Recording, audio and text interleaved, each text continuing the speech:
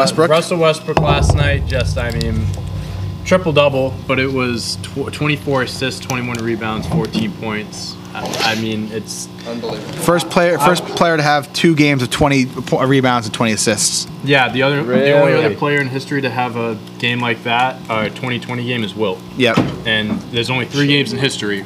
Westbrook has two of them, Wilt has the other. and Wilt has the other. There's one. Um, there was a record I wanted to see. Uh, oh, ah, no, weird. It's it's his record when he plays and he gets a triple double. What his team record is. I don't have it in front of me. I can't find it, but from what I remember, it was like, it was like, yeah, the percentage. The percentage like .753, but it was like 144 and 39, 37 games. Like that's what the record is when he He's gets a triple double. Triple double this year now. he he could literally score zero points, zero rebounds, zero assists the rest of the season and still average a triple double. No. It's kind of crazy that this that was the reason why. Incredible! Like It's crazy Oh, here it is. Here it is. Here it is. Um, Russell Westbrook records uh, when getting Is that a actually triple-double, true? No. Yeah, yeah, That's not true. yeah. It is. What? That is true. It's true. Yeah. He could literally do. He could literally go on the court and just stand around and pick his ass for the next Sure. two games, and yeah, I mean the numbers. I mean it's like eleven rebounds. I mean It's only he. like eight games left in the season. Yeah. So he's got this year. He's got 21.8 points. I mean, he's having yeah, good I mean, eleven point three rebounds um, and 11.2 assists. on this, I'm- 11.2 assists. Yeah, I mean, it, it's just incredible, and that's a career high in assists too, and rebounds. Yeah. Um, but uh, his record when getting a triple double since 2014-15, it's a 74% win percentage. It's 123 and 44. This Is winning is like his record when he gets Yeah. a triple double. Damn. Like, like he's putting up like he's not scoring as much as he did in his But he doesn't have to. He doesn't have to because he's Bradley Beal. What he he won 16, 17 was his MVP season when he averaged 31.6 Yeah. Yeah. with 10 and 10. I mean, he's averaging more rebounds, more assists. He's shooting better this year than he did in his MVP season. I mean, he's shooting less, but he's shooting better in terms of percentage. I'm gonna, I'm gonna ask. that's better for us. yeah, I will exactly. I We will. should not be going for volume. exactly. I will ask this question because um, Scott Brooks, the head coach. Oh yeah, he's the second best last point guard of all time. He said he said Russell Westbrook could possibly go down as the second best point guard of all time. No. I can't. That's I can't get behind that. it depends on how you define a point guard. It, it really. I but I think like Steph Curry is like still, is a lock for number two. I mean, I don't think anyone's gonna top Magic. I think Magic's always Yeah. gonna be. If if anyone would top Magic, I personally think it would be Steph, and I don't think that's gonna happen. I agree. But I, I, it depends how you define a point guard. Like if you define a point guard as a literal guy who facilitates the ball I around think the court. Westbrook's one of the best athletes of all time and one of the best hustle players ever. Oh, yeah. But I, I don't think I can consider him. What I say, and this is nothing. I say this a million times. I can't like rank someone while they're still playing. There's exceptions. Like Steph Curry is an exception. LeBron James an exception. When Russell Westbrook ends his career and he has all his final accolades, then I'll decide where I think he is. I think he can be top ten. Like we talked about the best point guards of all time. Remember, I said Chris Paul and like I thought that was like a lock, but then we actually went through all the point guards and it's actually not. Like there's a ton of really There's some really good. like Jason. You got Jason Kidd, Steve Nash. You still got Oscar Robertson. I mean, you got a ton of guys to put up there. Kinda Not crazy. saying that Westbrook can't, you know, be ahead of those guys at the end of his career, but I, I just don't. I can't see it right now. Another thing too, kind of going along the lines of that, unless he he needs to win a ring. If he doesn't win a ring, I can't consider him top five in up in that about a ring. category. Nothing. I mean, So this is what I'm going to say about like the the Westbrook.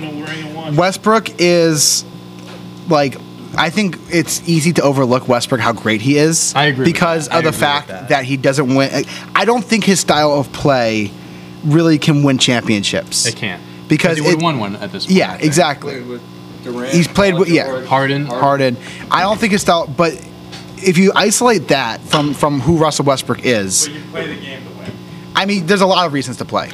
No, no, you play the game to win. Well, he's Sure, playing- but Chris, You, you put a team together to win. You play the game to win. That's why. I, Well, I'm- that's why I say I, w- I respect Westbrook I- what he does, but I wouldn't want him on my team.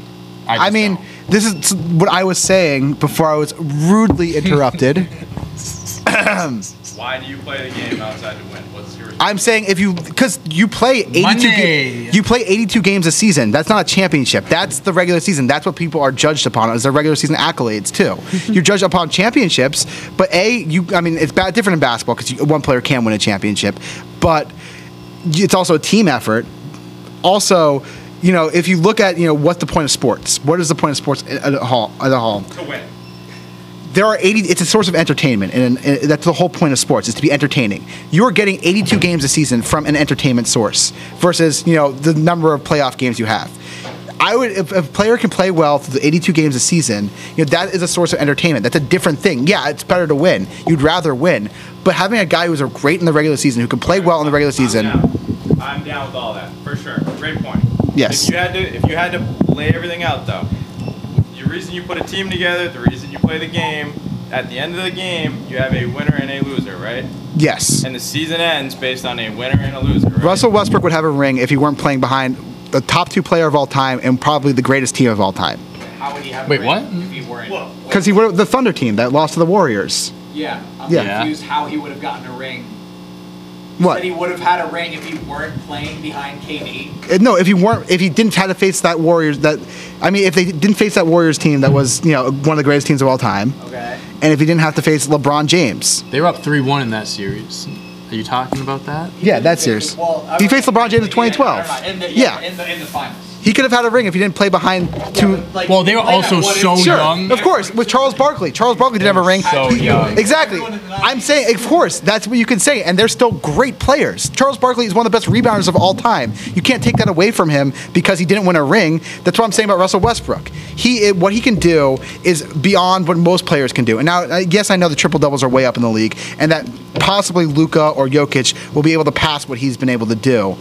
But right now in the league, especially when he did it in the league, before the league was playing the way that he was, he shifted the league a lot in the way that triple doubles became so much more. You know, he was the triple double king before triple doubles became so important in the league now. Yeah, he, I- did, he was doing like all those Oscar Robertson stats like for the first time in like 50 Yeah. years. Yeah. And I- I think I'm I not. do think it's it's oh, look basketball is weird because it's like partially about like champions and stuff, but it, uh, championships and stuff, but it's also a lot about individual performances, and that's like where you have guys like that's the reason that we put both Wilt and Bill Russell in everyone's top ten. Exactly. You know, Wilt is the best individual performance player of all time. Bill Russell, it has no one's ever gonna have that many yeah. rings ever. Yeah. So I'm, I'm not going to disagree with what you're saying. I think, you know, with what Russell Westbrook has accomplished and will continue to accomplish, you hold him to a certain standard, but there's only a certain level he can go to until he wins that ring. Like, I'll hold him up to here, like around that, like, let's say, I'm just throwing numbers, like around that fringe top 10.